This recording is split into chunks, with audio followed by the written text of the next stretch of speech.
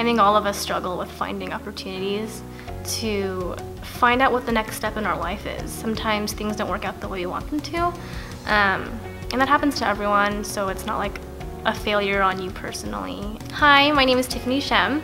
I am a FACES Summer Medical Academy class of 2010. Uh, I graduated from UC Davis. I studied psychology, and I'm currently a medical assistant at uh, urgent care.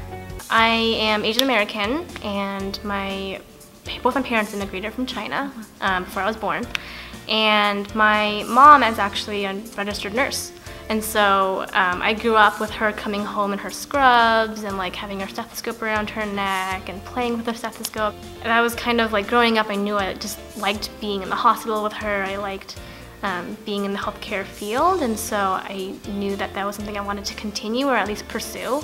So FSMA was great for me because it was the first time I had any real hands-on medical experience. We did like the suturing clinics, we did um, anatomy learning at a cadaver lab in UC Berkeley, we did a cultural competency workshop, which I found really enlightening because as a naive high schooler, I I wasn't put in situations where I had to have complicated conversations. And I think FSMA really instilled in me this idea of like there are populations in our world that don't have medical care, don't have access to the medical care that they need. And there are these disparities and gaps in our healthcare that can really be met by people who are aware of that. Currently, I'm on the track to becoming a PA, and that wasn't an easy decision. It definitely took a lot of uh, learning and experiences to kind of even find out what a PA was. Um, so I didn't know what a PA was until I volunteered at a student-run clinic at UC Davis. You know, I was really curious as to what part of the medical field I wanted to join because I only thought, you know, I could just only be a doctor or a nurse and those are the only options that I had. So after I graduated UC Davis, I became an EMT. I think it was a great way to gain more exposure to make sure that, okay, well I know what a PA is, but is that something that I could really see myself doing? And so I did that to kind of gain more exposure, meet more PAs, some, maybe try to find someone that I could shadow, and kind of just get more in that hospital setting. And then I actually was able to work with a PA at my next job as a medical assistant uh, at a hand clinic. And uh, I, you know, was the medical assistant, but I also scribed. I also did all the like the back staff things, like set up for procedures.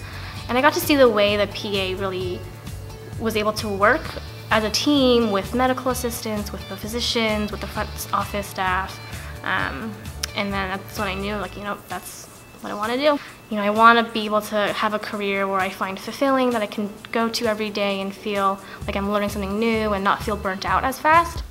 I'm currently applying to PA schools, um, and this is my second time applying. It's not my first time. You know, I, I kind of it's a little disheartening and it is stressful because the first time I applied, I I did apply late and so I didn't plan for it as well as I could have. So I think the second time around, I've kind of learned from my mistakes from my previous application and looked at my weaknesses. I've gone over with peers, I've gone over with people that I've met, I've tried networking and getting PAs or people in admissions counselors, whatever, to look at my application and tell me what I can do to improve it. Like I have to per persevere, I have to show that this is something that I'm passionate about and something that I really, really want.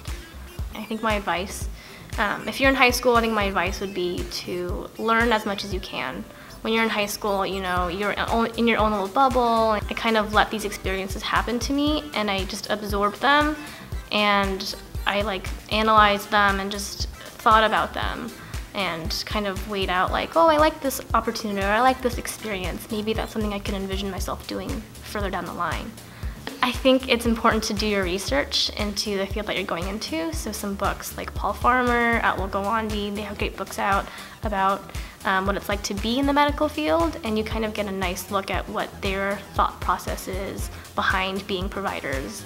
And so I mean I feel like life is an ever learning process um, and you just have to keep rolling with the punches and if you don't get in on in on a cycle or into school that you really wanted, it's okay. Like not everyone gets in their first try, um, but you just have to persevere.